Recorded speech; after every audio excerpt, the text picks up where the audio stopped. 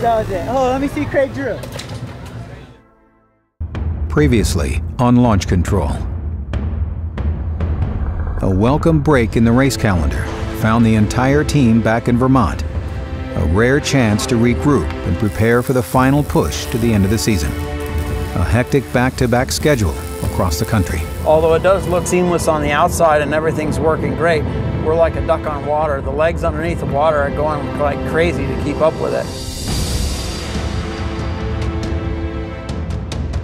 The break gave the team time for family, fun, and a one-off event in Canada to test their Subaru against fresh European competitors. Carpentier slotted out behind Isachsen in the Subaru, and that was how they finished. We came here and we mixed it up, and uh, we had two heat wins on our first try, and uh, it was a successful test for us. Park it tonight, hey! But that time is behind them. Two rally Subarus are in Detroit Lakes, Minnesota. And the two rallycross cars have arrived in Daytona, Florida. The mid-season break is over. It's time to compete. This is Launch Control.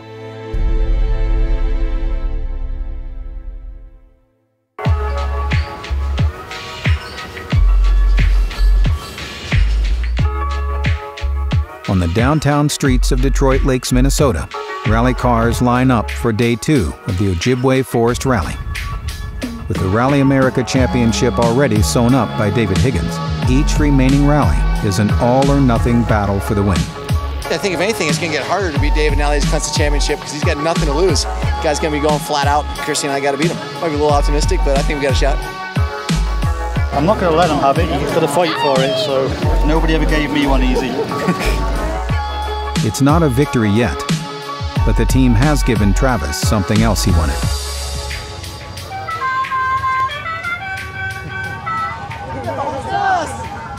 Travis has got a thing about having a Dixie horn, and he's been going on and on and on about it for weeks. So we decided, since he's been a good boy, we'd fit the Dixie horn to the car. I had a bet with this guy that if we finished the first race on the podium, they'd put it in, but they didn't put it in. So then I had a bet that if I ever beat this guy, they'd put it in. Well, I haven't done that, but maybe I just I haven't, I haven't crashed any cars this year, so, so maybe it's a thank you. It's all smiles for now, Thanks, guys. but they'll soon have their race face on. In Daytona, the rallycross team is already preparing for their second day of action. Bucky Lasek sits down with engineer Michael Zotos to discuss and improve their race setup. If we go by the data, the RPM goes up because the car is spinning, stays stationary. Why am I not moving? I would, I would try to rotate the car, let the car rotate, carry momentum, and then get on the gas, and it wouldn't be there. And can that be a spike because that diff is open and let it kind of free rev? Because you could hear him track out on power and then wabala, and then finally when it's straight, it would hook up and go. So whenever my car goes up on two wheels, I'm back on throttle as a mechanical slip, and Martin walked me every lap. Many cars struggled yesterday in the record heat. Temperatures well over 100 degrees introduce new challenges. But I'm really, it's really hot in my head now. I'm really uh, frustrating and I, I really don't know what's happening. Sverre struggled on launches, and Lasek's differential settings left him struggling to find traction. But it's all part of developing a race car. The race action today is what counts.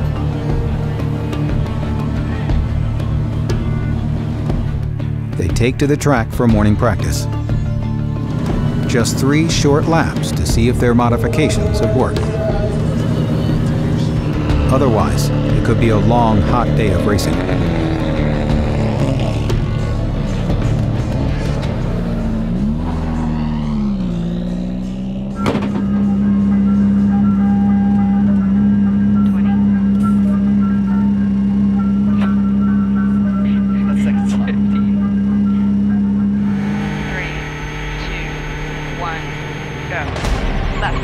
Travis and Chrissy may be first on the road, but they trail Higgins and Drew by four seconds. They showed immense speed in New England, And if they can find that kind of pace again, they might have a shot at their first victory of the year.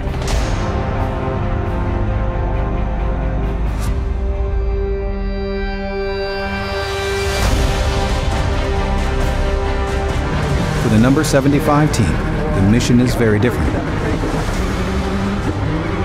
They have had as successful a season as anyone could hope for, but they aren't about to back off. David and Craig never want to lose. Travis and Chrissy always want to win. Right four plus, 50. Flat crest, 60. Right four. Two stage wins means Pastrana is keeping Higgins on his toes. Left five, 100. Right six in over crest, then. Flat crest, 180.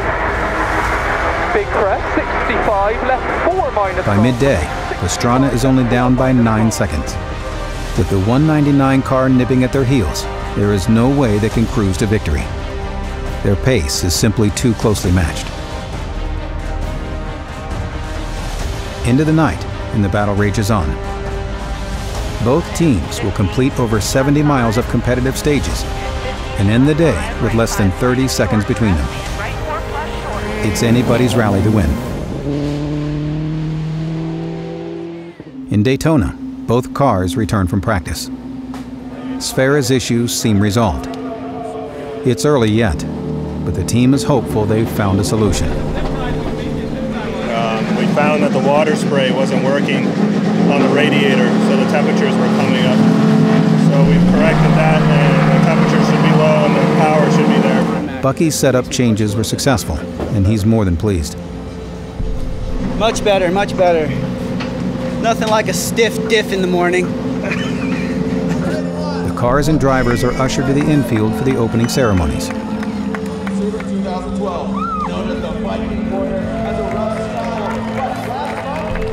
And then quickly regroup to the pre-grid area. It's crazy. We changed the diff, and then overnight they rebuilt a different diff, a different diff for me. So it made a big difference. Bucky lines up for his heat race. And Sverre takes to the track soon after for his race. Top three in each heat advance directly to the final. The lights go out. The car's launched. A rare stumble for Sverre. He's playing catch-up. While Bucky takes the outside and saves his joker lap for later.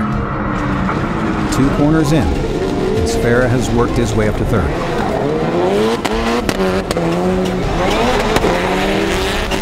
Lasek lands a lucky break after a three-car pileup at the hairpin allows him to make a pass around the outside. Sverre isn't so lucky. His hard work is lost when his Subaru stalls and won't restart.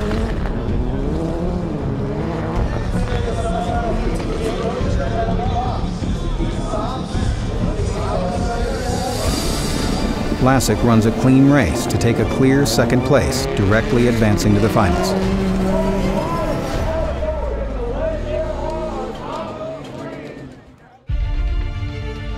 In Minnesota, fans fill the forest for the final day of the rally. Anybody else need cowbell? Love that shirt. My son has that shirt. The two Subarus are locked in a battle for the win, Morning, sir. with a little friendly banter to start the day. Balls to the wall, Travis. This time, it is Higgins and Drew who take to the stages first.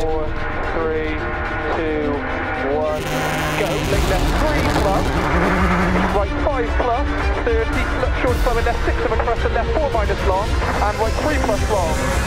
With a narrow margin between them and their teammates, the 75 Subaru has to push to ensure their victory. Big 70 right four. Don't have a big crest. Then left four plus in of a crest. Right three plus long. It won't be easy. The roads are tight, with lots of standing water, making the grip unpredictable.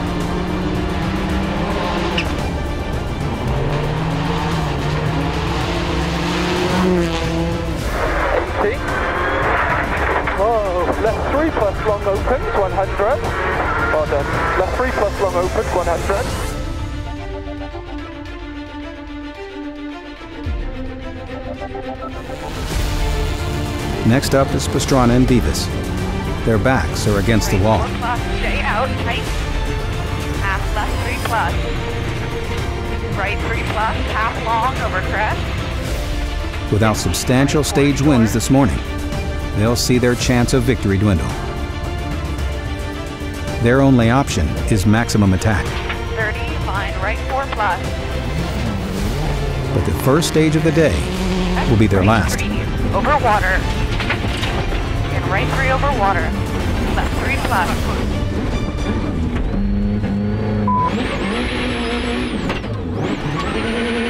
We're done.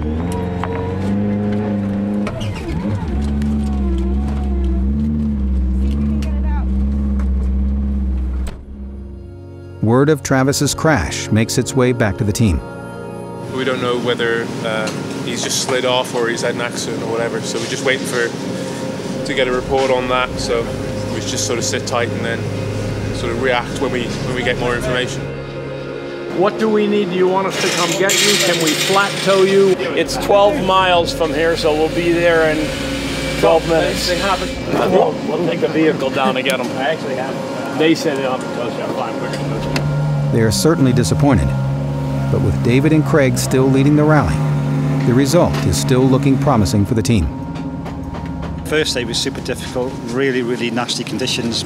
We had a, a good, good fair few moments, but the more we were doing them and the more we were getting away with it, we decided just to keep pushing on. But then obviously when Travis didn't come out of the stage, then we, we just had to sort of back off. Pushing pretty hard in that first stage, just needed to make up some time and hit a bit of a puddle and, and got off the side.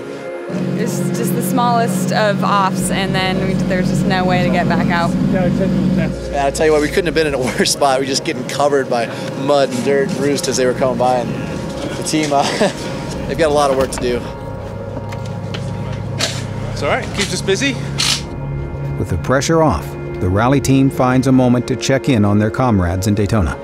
While they're relaying the results up to us, we're, we're telling them what's going on here at Ojibwe Forest Rally. Sverre's strong LCQ race puts both Subarus in the final, which is about to begin.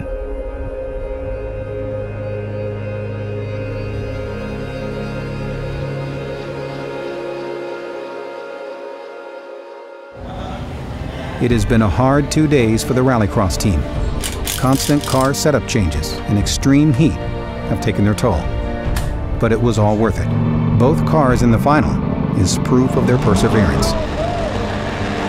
The green flag drops, and the 10 car final blazes away. Bucky's frontline start position forces him to the outside, but he avoids the chaos as the field jockeys for the inside line. Sverre's LCQ qualifier means he's stuck in the middle of the pack. Bucky takes an aggressive line through the hairpins to cut through the clutter, bringing him back up to fifth with the Joker in hand. A few corners later, he finds another inside line to jump to fourth. And then takes the Joker at just the right time to claim third. Smart driving and strategy calls now have him in a podium position. When's uh, So this is live right now. There's six laps in. Sverre is also charging hard. He's moving through the pack of cars and is up to sixth.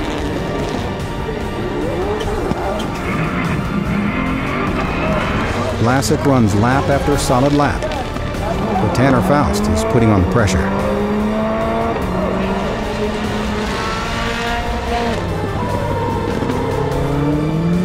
Tanner tucks inside on the long sweeping right turn.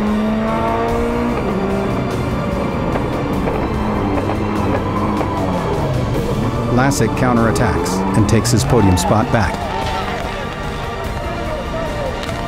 he got it back. Oh, he did? And he's done the Jokers. Sverre keeps pushing and runs up to fifth, but will run out of laps to make up more ground. Bring it in, bud. Bring it in.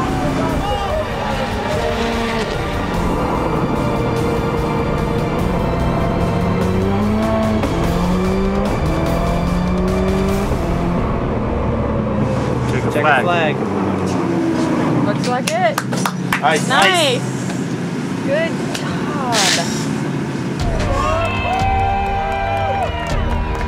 on a weekend where every Subaru Rally Team USA car was in action. Podium finishes in both disciplines is a testament to the effort put in by the whole team. David Higgins completes his sixth victory of the season with some sideways fun on the final stage of the event, followed by his teammate Pastrana, whose car was repaired simply to put on a show for the fans. This rally wasn't the best to us last year, but we've come here this year and ticked the box, and now Craig's won the full set as well now, so it's really good way to finish the rally.